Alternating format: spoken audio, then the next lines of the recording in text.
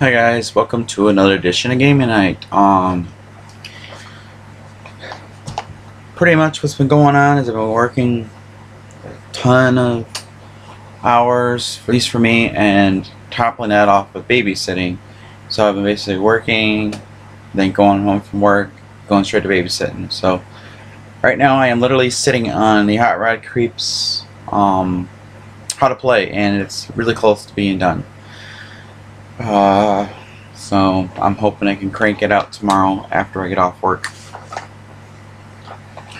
Um, so I'm thinking about possibly doing a karaoke live feed tomorrow, or me assembling my Fat Dragon Games stuff that I'm going to be using for a Toon session Thursday.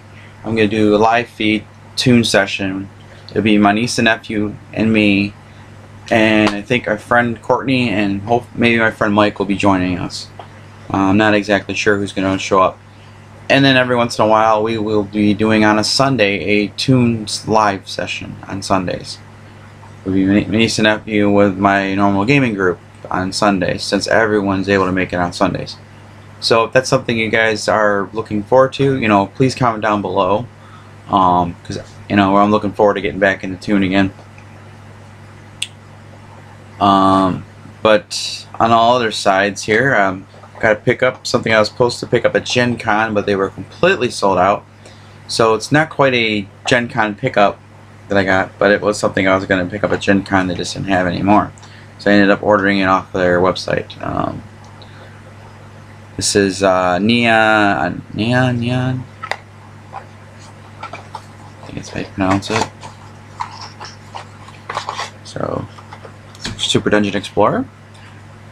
There, uh, there's the treasure back card. That's the front of the treasures. Cat's Pain. Oh, no. Cat's Paw. Sneak attack. Plus one attack dice.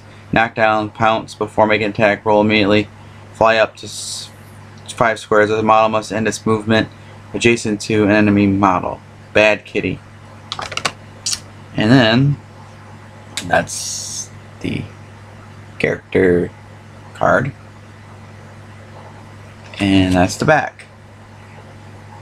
I will read you stuff on this. It's got a movement of seven, three actions,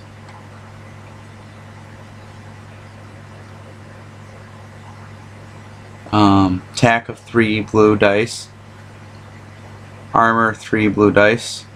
Will 2 blue dice. Dexterity 2 blue dice. It's got 5 hit points. And can carry 1 potion. It's got teeth and fur attack, plus 1 attack, knockdown, and pounce. Costs 2 actions to perform it. Um, and it will use its dexterity. I believe, yeah. Um,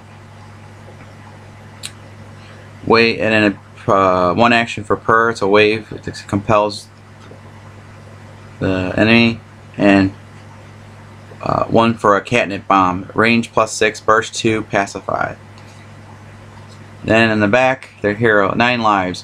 When a model with nine lives takes their last wound, immediately roll plus one I think it's their dexterity, I believe. Remove one wound counter for every star rolled. If no stars are rolled, the model is destroyed. This one's got 9 lives ability. Dodge. A model with dodge may use their dex. This is what she's got. Unless they are suffering from mobile, or slow. Luck. A model with luck may gain a potion instead of a heart when rolled and then um, and when opening a treasure chest they may draw two cards from the treasure deck and equip one discarding the other pounce before making an attack roll immediately fly up 10 to square up to 5 squares. The model must end this movement adjacent to any model. So basically it allows you to just move in for a quick pounce attack. And of course need all you guys want to see. I'm sure you want to see the actual model. So there's the model and the plastic wrap but you can't see it that well. So what am I going to do? I'm going to open it up.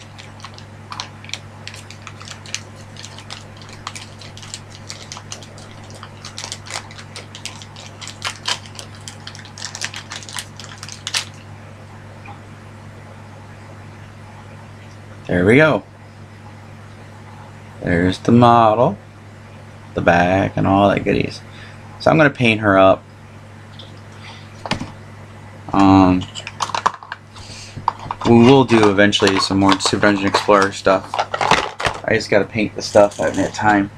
And something else I picked up not too long ago. I just didn't show you guys. Um, I picked it up. This is uh, kind of feels more like a PS3 controller, and uh, Logitech. I'm using this for my PC gaming. Um, I'm gonna see if I can use this for the Bobo's um, Adventure, and maybe do a, me playing that again. I haven't done that in a while. And once I can, once I get the full version of the Deus Ex Machina, I'll do a little bit of tease video with that, and my final reviews, and I'll definitely uh, uh, play the original one once I get that my, from my Kickstarter. Uh, also, uh, I pre-ordered the Angry Video Game Nerds Adventure game from on Steam. So I'll probably play that a little bit when I get that as well. Um, so there's that. This whole week's planned. and then this Sunday we'll be gaming up at uh, Shenanigans, but I don't know what we're gonna play yet. Um, blah, blah, blah, and so yeah, that's it.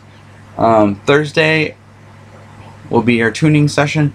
I will do a pre-adventure video of all the characters that will be playing and if anyone else shows up that isn't there you know they won't be taking those characters but what what I'm planning doing with the adventure is my niece and nephew's characters that they just recently created they're going to use for this adventure and the pre-generated characters in the booklet so I will do like a synopsis video before the adventure starts so you guys know what the adventure is so you can tune in when it, the live feed's up.